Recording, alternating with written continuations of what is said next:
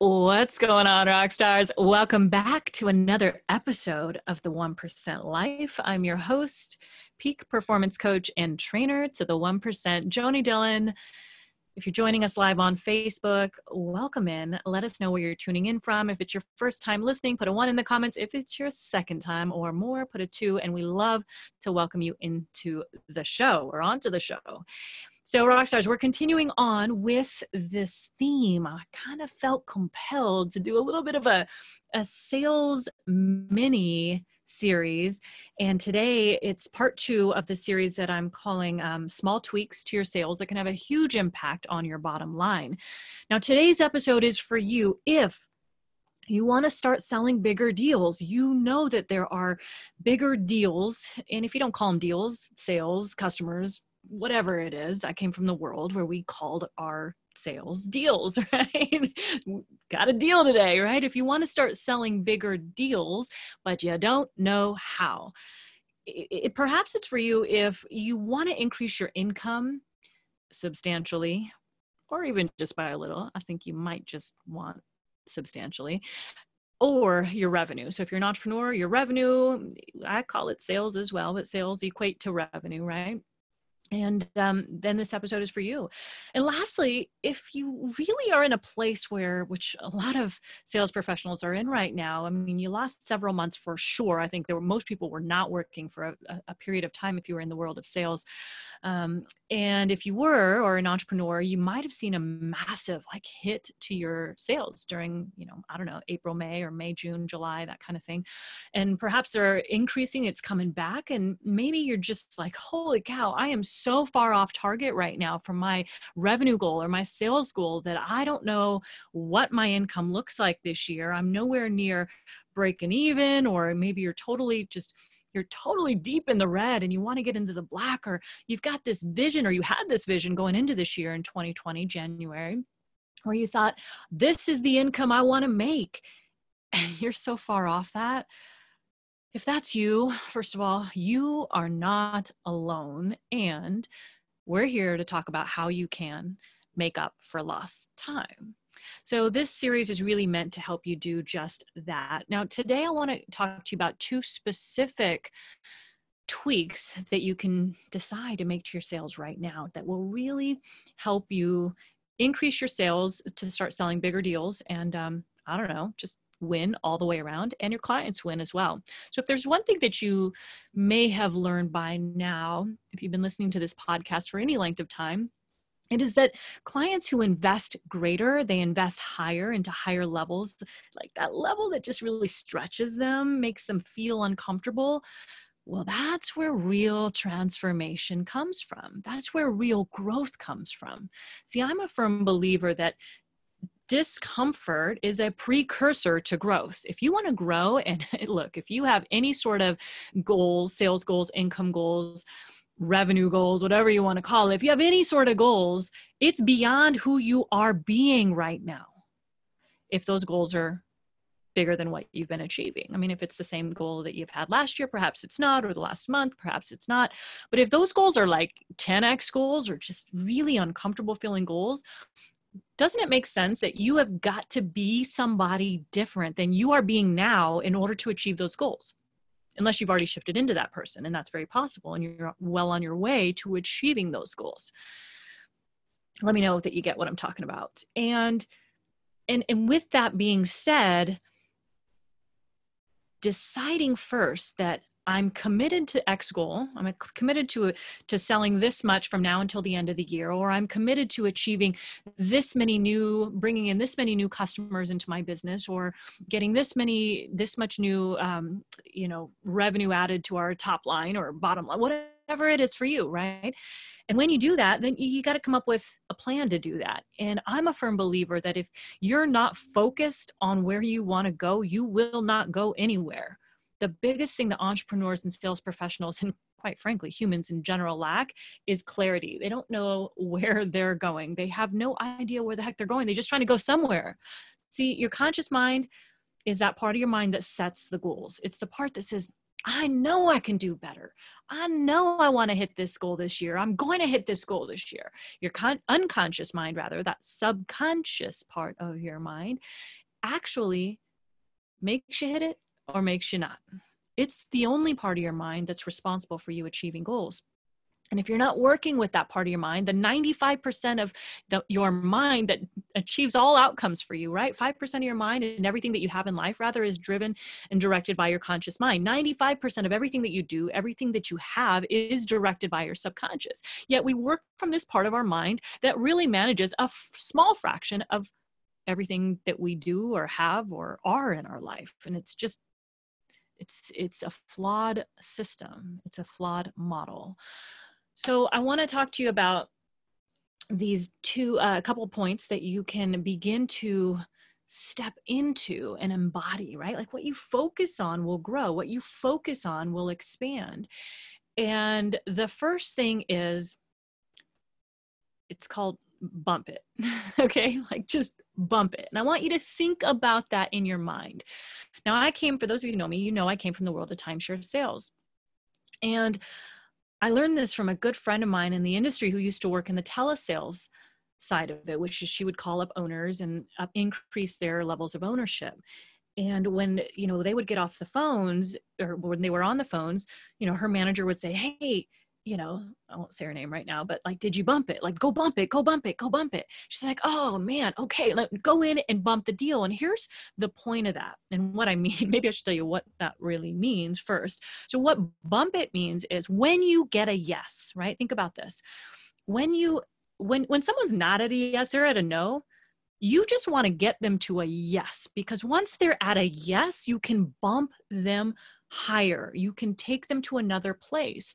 If they're so resistant, then you you even getting to a yes is is a big feat let alone saying okay i want you to buy this $100000 option versus why don't we just get you started at this 20k and then you can bump them higher right? Now look you always position high. We talked about that in the last episode. If you have not yet listened to episode 144 go back and listen to it right after this one. They don't have to be in sequential order but make sure you go back and listen to part one of this series.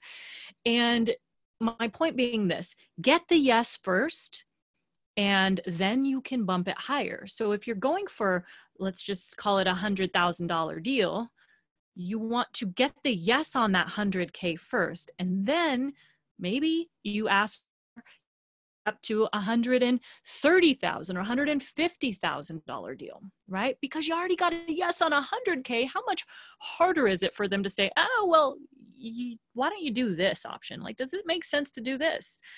So that is um, a strategy that really, really, really does work, and it can really impact your overall sales volume and really your bottom line. So you want to look at it as in two different ways. Think of the word bump it and think of the word add on, right? And how specifically you do this is you look at what do I have? What specific products or services or combination thereof can I bundle together and to bump the deal to I just like bump it. I don't even want to call it anything else to, you know, add on perhaps to add on what specific products or services or next level combination of, right? A bundle, think of it as a bundle even, can you add on or bump the sale?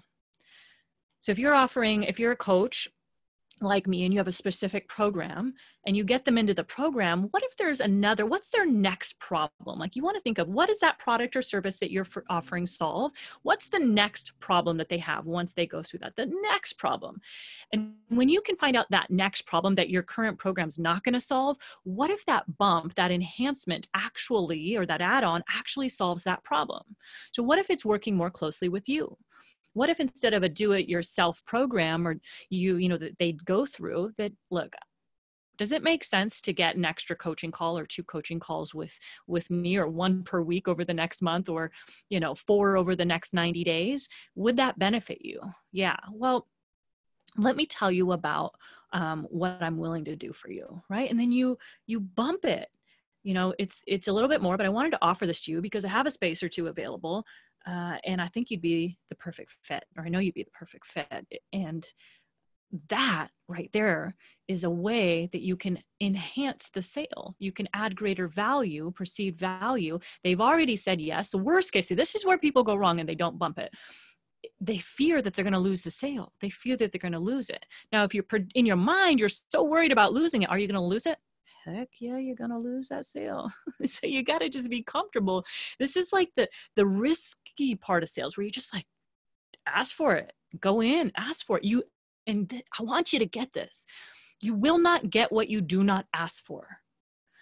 You will not get what you do not ask for in sales. How are you going to increase your average selling price if you're not asking for bigger deals? You'll never get there. They'll never have the opportunity to buy something greater that solves their problem in a bigger way or maybe at all because you have not offered them the opportunity. So this becomes more about them, all about them, than it does about us. It's about them, not you. And when you really get that, bumping the sale or adding an add on that actually provides value and solves the next problem or solves the problem more fully, perhaps, I think it should be the next problem personally. Like, what's the next problem? See, people buy courses or they buy products, they buy services to solve a very specific problem. Now, think about this. Once that problem's solved, what's the next problem they're going to have? I'll give you an example. So I'm a, I'm a marketer. I'm a coach, yes, but I'm a marketer first. And as a meaning I have no clients if I don't know how to market to them, right? If I don't know how to use my words, my language, my persuasion skills, I have zero clients. If I don't get out of my own way and away onto the screens and away from my office, I don't have clients. So I have to put my the, my marketer hat on before I'm able to have clients. Now, the problem that most coaches face is a lead generation problem. They do not have enough people coming in the front end to buy their back end product, right? And so once, let's say I were to solve that problem, I don't solve that problem for people necessarily. Well, for my higher level mastermind clients, I do. I help them get generate more leads and the strategy to do so. And let's say I solved that problem with a course or something on the front end, and maybe that course was like $2,000. Well, what's the next problem you have when you have leads coming in, right? What's the very next problem? You gotta know how to close those leads. You have to know how to sell. There's no pro- point in having a bunch of leads, calls coming in like crazy. Oh my God, we wanna work with you, Joanie. We wanna work with you. We wanna work with you. But you don't know how to convert those to sales. Make sense? So the next level problem is now how do I close those sales? So if I were focused on selling someone a lead generation program or a you know to to sell whatever it is that they sell or whether it's solar sales or you know financial advising services if we here we're going to teach you how to do this well what's the next problem they have? Closing those people. Most people don't know how to sell. They don't know how to close. They think that closing is a completely different thing or the same thing as selling. No no no. You can be good at selling something but suck at closing and asking for the money. Trust. You can be. And that's not who you want to be you want to be the person who not only knows how to present an offer but also knows how to go in and get the money today. I'll give you an example. We have an awesome client. She's new. She's brand new. she's learning, and she's stepped into the world of coaching. Um, and you know, it, it occurred to her that holy cow, in order for me to be good at this and grow my coaching business, I actually have to become a closer. She, eh, she hadn't equated the two right? Like it's not just about the coaching, the actual process of getting a client a transformational result or transformation. I have to get the client in the door. So I'm actually a closer. And so as we build out her new identity, which we teach in our brand new, oh, something exciting I'll tell you about here shortly, our upcoming challenge, her new identity is a closer, a top closer. Uh, you know, she wants, I think, I can't remember the exact percentage, but a, you know, 50 or 60 or 70% closer. And meaning every person that she speaks to that i think it was 50% so if she speaks to four people two of those become clients. Now when you're selling courses and products and coaching for 5k 10k 15k or more that adds up to a lot right now you have then the next problem is like how do i get people enough people in the door once i figure out how to sell right? So that consistently now it's systematized where i don't have a me problem picking up the phone. That would be the next level problem right? So there's there's problem after problem after problem. Now you shut one door and then a new problem opens right? Close one door and a new problem opens as you grow your sales or your business. So you want to think of what can I do to what can I add on? What can I do to bump this to really make that that next thing that's going on in their mind? Maybe it's a service thing, right? Geez, once I get in, once I be um, you know, from my old industry, once I have this level of ownership now, how are we going to use all these benefits? Well, what if you were to be that service professional that comes with it that actually does what you say you're going to do and actually helps them you know book those trips book those vacations do all the things that they really have been lacking on or have been promised and not getting? So think about how can you bundle in a next level outcome or result that uh, enhances the sale increases the price? You got the yes now bump it. Make sense? Hope you like that and here's again the thing that i really want to emphasize is that you don't get what you cannot get what you don't ask for. So you'll never be able to increase your sales price your average selling price or even your income anything if you don't ask for bigger deals right? So i hope that helps. And then the second thing i really wanted to talk about today with you is if you want to make small tweaks to your sales that have a big impact on your revenue, on your bottom line, on your income, then this one is really key. And this is where a lot of people fail. It is so simple, yet can be so overcomplicated. Know your numbers. Know your numbers, right? What is your current average sales price? What is your average selling price right now? How do you figure this out? Look, if you're selling $100,000 in a month, hypothetically, and you have five sales, then what that means is that your average sales price is $20,000, right? Now, if you have 100 customers that you are bringing into your company or business in a month, then and and you um, have five sales, then it's one. Uh, if you have 100 customers and you have five sales, did I say that right? Um, oh God, like I'm like all of a sudden I can't do math in my head right now. a thousand customers. Oh, it's if a thousand customers, it's a hundred dollars. Got it. So um, what, you know, you get the point, right? Your average sales price. So yeah, that's uh that's what you want to do. You want to take the number of customers that you have divided by what your total sales are, and uh, and don't try doing math while you're on you know podcasting live. I had one of my mentors. He would be on stage, incredible, and he's like brilliant man super brilliant guy and he's like look put me in front of a stage and, and give me a, a whiteboard or a flip chart and i will not be able to do math all of a sudden 200 bucks excuse me. So uh, my notes were all flubbed up. I was like yeah doing the math in my head that's not right. So a thousand customers five sales 200 bucks per sale right? So you want to figure out what is that and if you want to increase your average selling price and you got to know where you're working from in order to increase that Otherwise, your unconscious mind, that part of your mind that's the goal getter, has no idea where to go. It has to have a, like, here's where I'm at. What you focus on grows and expands. If you don't know where you're at, how do you move the, the needle, right? You can't because you don't even know where you're at. You have no, no, no set point. So know your set point and focus on it. One of the things I did really well back in the day when I used to slang timeshare was I know my numbers inside and out. I really would. I would go in in any given day, on any given day, I would know exactly where I was. I would know what my VPG was, which means our value per guest, how many people of the dollars that I had sold and the customers I had brought in and, and helped with their vacation ownership plans. I knew that uh, at any given time, I was at this exact number, pretty close down to the dollar exact number was my value per guest. Now, I would also know my closing percentage. And once I drop below 40%, like for me, that was a target. Like I would always be 40% or higher in my mind. And if I drop down to 37, I'm like, oops, something's going on. What is it? Something's going on. And I would look for the thing. And typically more times than not, it was in my mind or I was cutting corners and not going through this, the system, the process. Look, it's so crucial to know your numbers. Ignoring them gets you nowhere. I've i've spent time even ignoring my numbers in my business. It got me nowhere. You have to know them you have to see the ugly in order to prove improve upon it and make it pretty. If you don't see the ugly how do you make it pretty right? And that is so essential and so key. So knowing your numbers is going to naturally help you increase your numbers.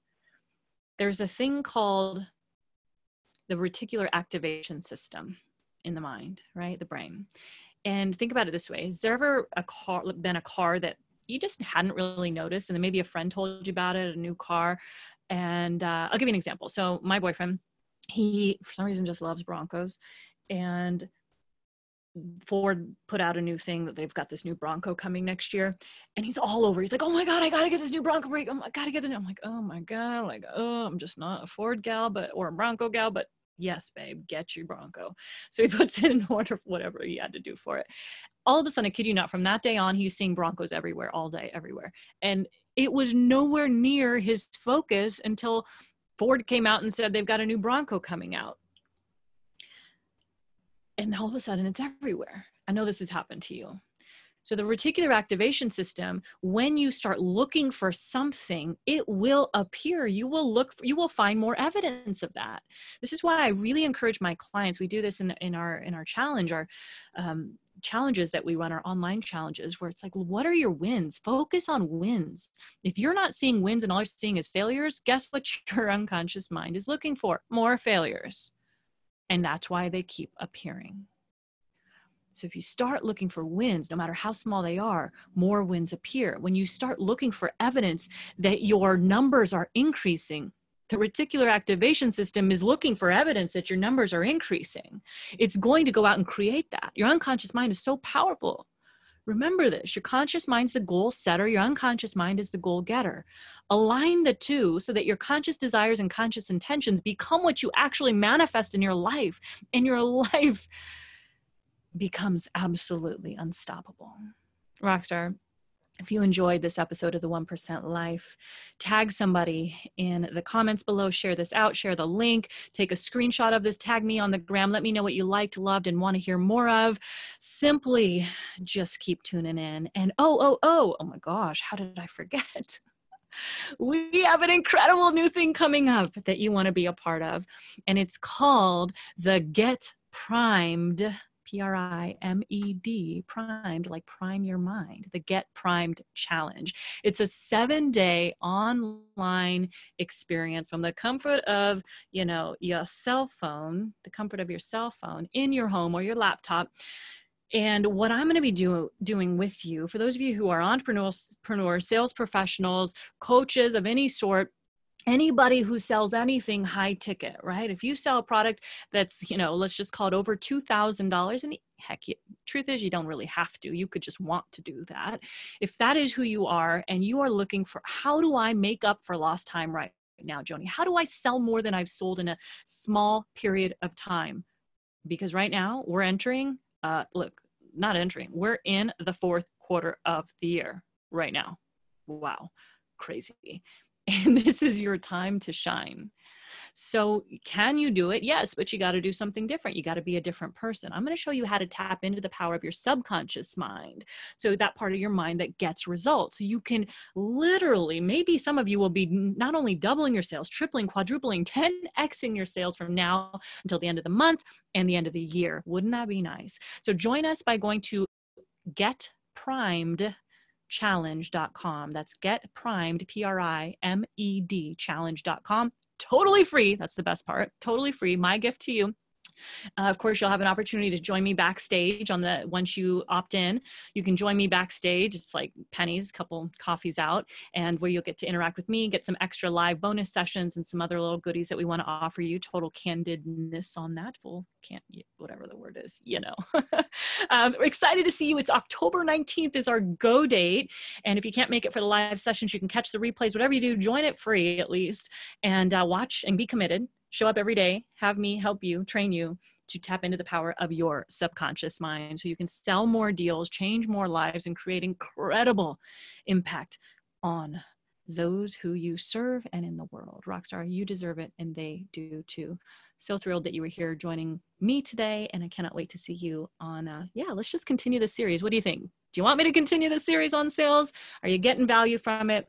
If you are, leave me a rating hopefully five stars and a review if you're online if you're on facebook leave it in the comments below what you want me to talk more about as well. Give me some ideas. We're going to start taking. Oh, oh, oh! I forgot to mention this. We're going to start taking uh, Q and A's from you guys. We're going to have you call in if you're interested in having me answer your specific question. You'll be able to call in, leave that message for me, and I'll um, air it either on the show or read it out loud and uh, answer your questions. So that'll be coming up soon. Stay tuned and get out there and create an, an unstoppable day.